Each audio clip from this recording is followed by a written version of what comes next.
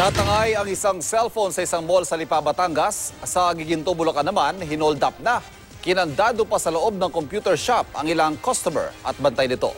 Ang mga insidenteng nahuli ka tinutukan ni Tina Panganiban Perez. Habang tahimik at abala ang bantay at mga customer sa computer o Bulacan, biglang pumasok ang lalaki naka-jacket at nakatakip ang muka. Naglabas siya ng baril at nagdeklara ng hold up. Akala lang po namin, ano, joke lang po.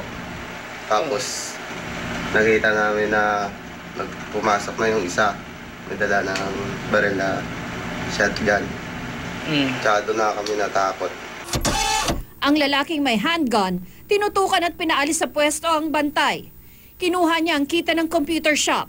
Ang lalaki namang may shotgun ang nanutok sa mga customer. Dinala po kami doon sa likod. Doon sa dulo. Nadapa doon.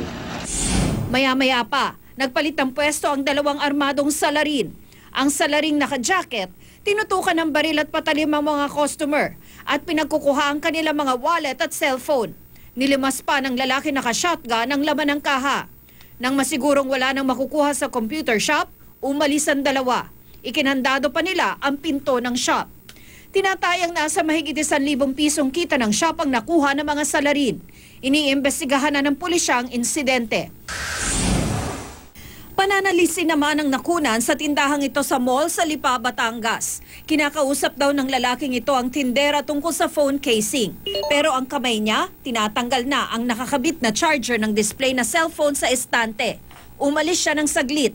Pagbalik, tila kumuha siya ng tiyempo. Inintay na tumalikod ang tindera, saka kinuha ang cellphone at sumibat.